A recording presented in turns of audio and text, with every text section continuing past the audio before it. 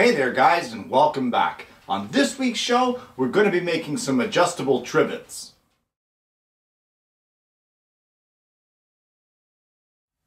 Now in order to make this project, you're going to need to choose your stock and I would suggest to make it out of a hardwood. I wouldn't go with any kind of a softwood as I don't think it could take the abuse. So a hardwood like maple, walnut, that sort of thing, mahogany, something that has a little more strength to it. And you're going to want to mill down some stock that's going to be 3 16ths of an inch thick.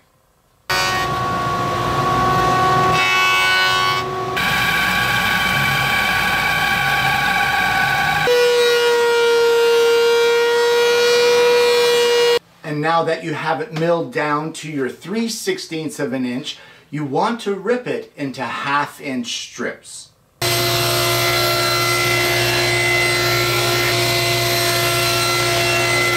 So the first thing that you want to do now that you have all of your strips ripped to their half inch width is you want to cut the length of the pieces. So first off, put a crosscut blade in your table saw and square off one end of your stock.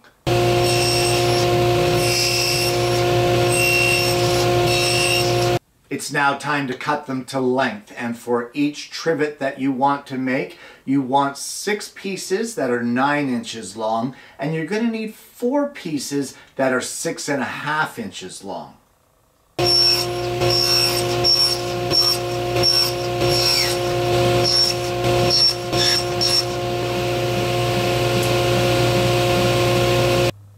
Well now that we have our stock cut to length it's time to consider the method of attachment, how we're going to hold this all together. And for me, I've decided on these, which is brass rivets.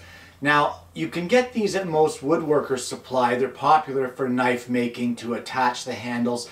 I got these at Lee, at Lee Valley. I'll post the link below just so that you guys have access to that information.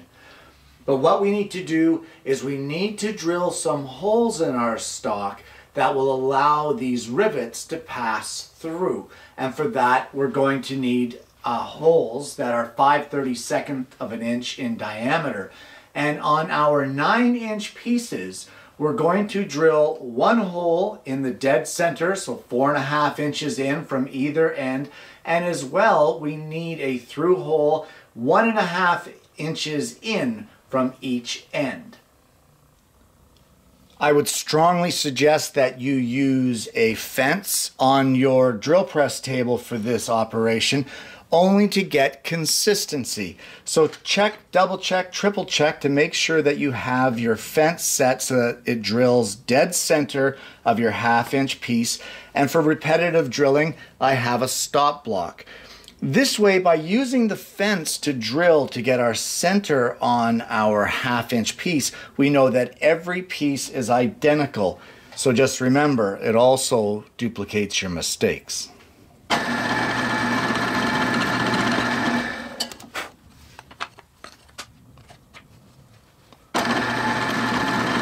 We now need to drill a flat bottomed hole or countersink for the head of each one of our rivets. While we have our stops and our fence already set up, now is the time to do it for these center holes. So I've got a quarter inch Forstner bit in here, same diameter as the head of our rivet. I've got the depth stop set so that we're just going to place a little bit of a countersink. It isn't much.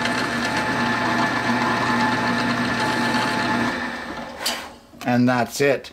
And that should set our countersink of our rivet just right. So countersink all six pieces on one side, and that will be the outside of your trivet or your working side. So choose one side and drill your countersink in each one of your pieces.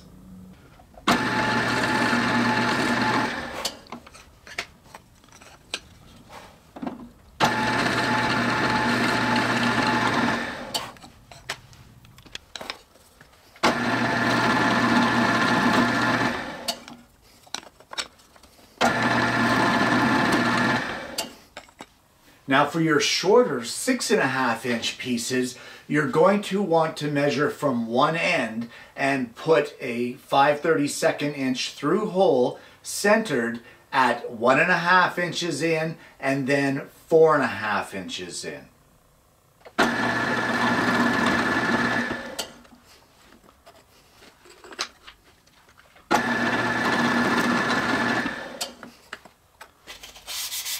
So now just give each one of your pieces a light sanding. And once you get that done, we can get into the assembly. Well, it's now time for the assembly.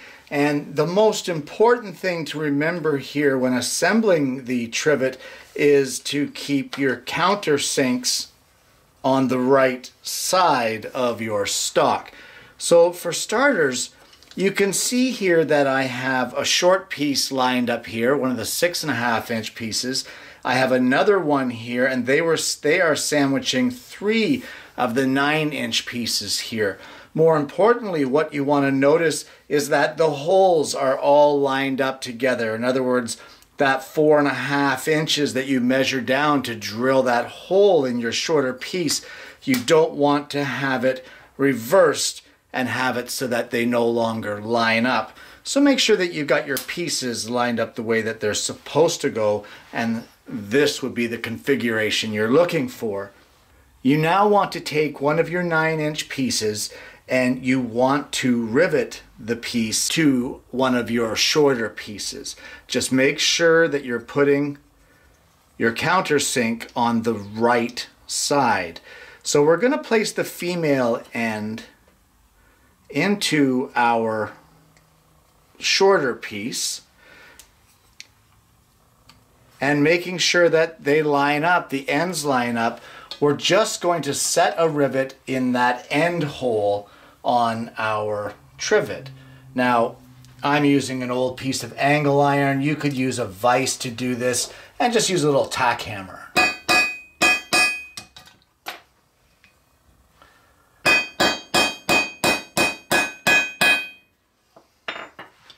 There you go. And that is that piece secured. So now the way it's going to work is now this middle hole connects to this next 9 inch piece and then this top hole connects to the next 9 inch piece. Do you see how that works? So let's rivet those and then we can add another piece into our mix. Once again though, make sure that your, your countersinks are on the right side, guys.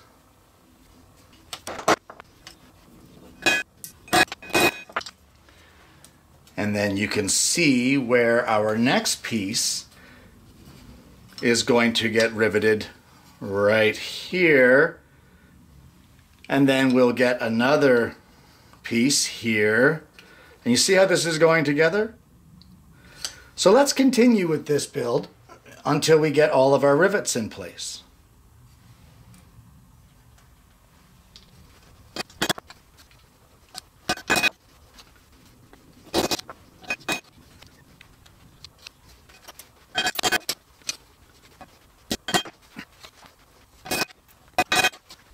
And now that we have all of our 9 inch pieces connected, we can see how it closes up and connects and joins. We now need to finish it off with our shorter pieces. And again, you just want to make sure that you've got the right holes in the right position. So we'll finish off this side with one of the shorter pieces.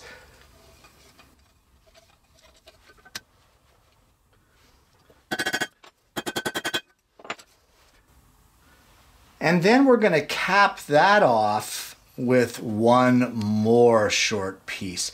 Again, making sure that you have the right holes lined up. That inch and a half hole here is lined up on the end that it should be. So what I'm going to do is I'm going to cap this end with one of our six and a half inch pieces. And then once I get that finished, the last six and a half inch piece will cap this end over here.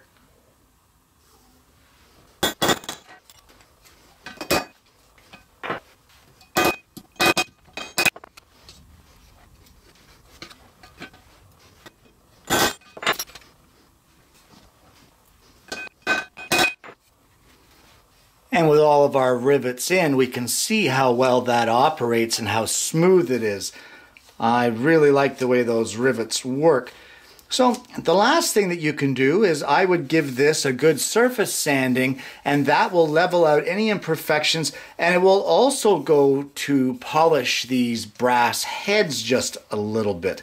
And other than a, a coating of mineral wax and, or sorry, mineral oil and beeswax, um, I'm going to call this project done. And there you have it. An expandable or adjustable trivet.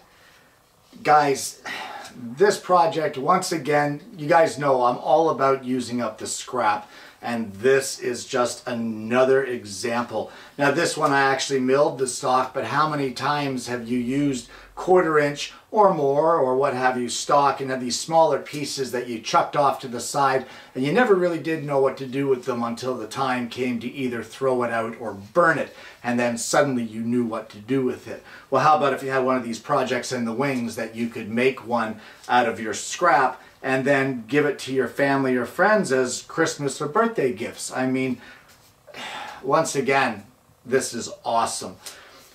I can't take all the credit for this as I did see it on another guy's channel and I want to give a shout out to him and that would be Paul's Messy Workshop.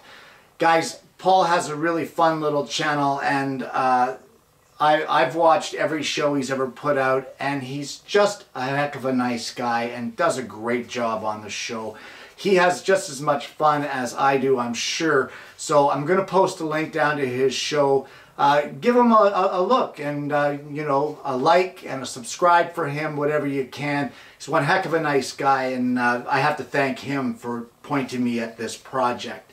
So, guys, thanks for joining me this week. I hope you're going to try this yourself. I got to tell you, this is addictive playing with this thing. But either way, guys, thanks for tuning in. I hope you're going to join me again next week when I bring you yet another woodworking video. This is a lot of fun.